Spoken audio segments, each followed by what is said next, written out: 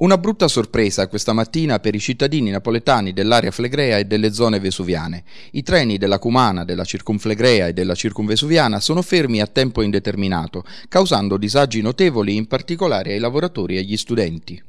Non è garantito il servizio, annuncia un cartello scritto a mano dietro i cancelli chiusi della stazione di Montesanto.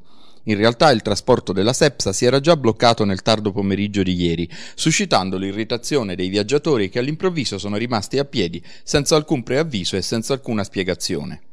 Un'interruzione del servizio che tuttavia non ha i requisiti di uno sciopero e che rischia perciò di provocare denunce da parte degli utenti, già esasperati dal recente dimezzamento delle corse e dal frequente ripetersi di disfunzioni, ritardi e sovraffollamento delle vetture. La causa delle agitazioni sembra essere il mancato pagamento degli stipendi di ottobre ai dipendenti.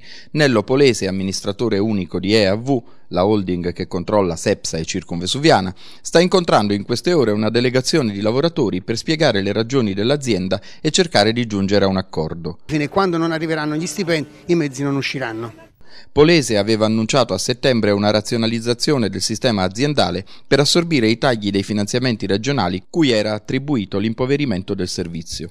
Ma intanto i cittadini di Napoli e della provincia patiscono ancora l'inadeguatezza del trasporto pubblico locale, scontando un disagio che non ha eguali in nessun'altra metropoli del paese.